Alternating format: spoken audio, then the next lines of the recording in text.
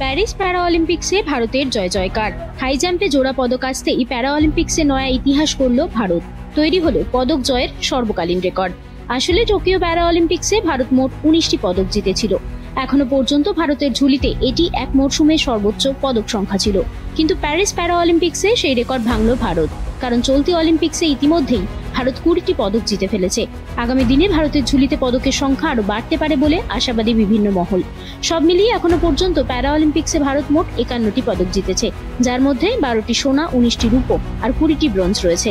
Paris para অলিম্পিক্সে পদক জয়ী কারা চলতি প্যারা অলিম্পিক্সে মহিলাদের এস এইচ ওয়ান দশ মিটার এয়ার রাইফেল ইভেন্টে দুটি পদক এসেছে। এই বিভাগে সোনা পেয়েছেন অবনী লেখারা এই বিভাগেই ব্রোঞ্জ জিতেছেন মোনা আগরওয়াল।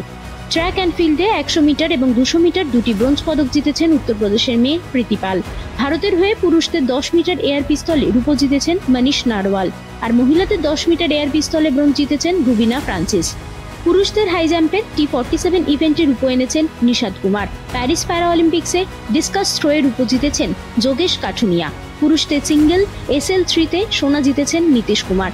মহিলাদের ব্যাডমিন্টনে এসইউ ফাইভ বিভাগে ব্রোঞ্জ পেয়েছেন মনীষা রামদাস। এই বিভাগেই রূপো পেয়েছেন তুলসীমতি মুরুগেসান। পুরুষদের ব্যাডমিন্টনে এসএল ফোর ক্যাটাগরিতে সিঙ্গেলসে রূপো জিতেছেন সুহাস জ্যোতিরাজ। প্যারা অলিম্পিকের তীরন্দাজিতে ব্রোঞ্জ পেয়েছেন ভারতের রাকেশ কুমার এবং শীতল দেবী।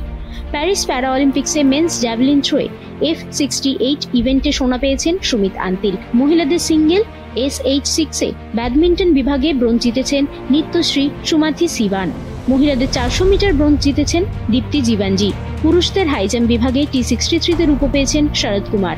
এই বিভাগেই ব্রোঞ্জ পেয়েছেন মারিয়াপ্পা থাঙ্গাভেলু আর পুরুষদের জ্যাভলিন থ্রোয়ে টি ফর্টি সিক্স বিভাগে রূপো পেয়েছেন অজিত সিং এবং ব্রোঞ্জ জিতেছেন সুন্দর সিং গুজ্জার।